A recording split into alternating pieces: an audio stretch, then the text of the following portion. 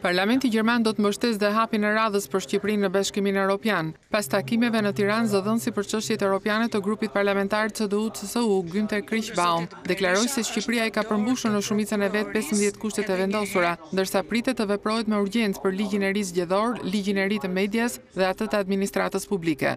Më tetë nëntor do të dalë raporti vjetor për Shqipërinë dhe në dritën e këtij raporti do të japim edhe këshillat tona për kapitujt e veçantë që duhet të hapen. Natyrisht që janë të përfshirë sfida të mëdha, për shembull kapitujt njëzet e tre dhe njëzet e katër, bëhet fjalë për modernizimin e sistemit të drejtësisë dhe pavarësisë e demokratizimit të këtij sistemi. Këto hapen në fillim, Dhe pastaj hap pas hapi çelen edhe të tjerët. Në të njëjtin funksion, deputeti gjerman pas takimeve në Tiranë bëri thirrje të mos cënohet aktiviteti i SPAK-ut, që është një arritje e reformës në drejtësi për të cilën Gjermania mendon që duhet të bëhet model për vendet që duan të anëtarësohen.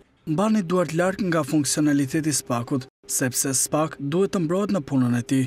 Deputeti Krichbaum solli në vëmendje sqarimin e situatës ligjore nëse duhej kërkuar heqja e imunitetit të Berishës. Është një procedurë e një sistemi të pavarur të drejtësisë dhe politika nuk duhet të përzihet në këtë procedurë.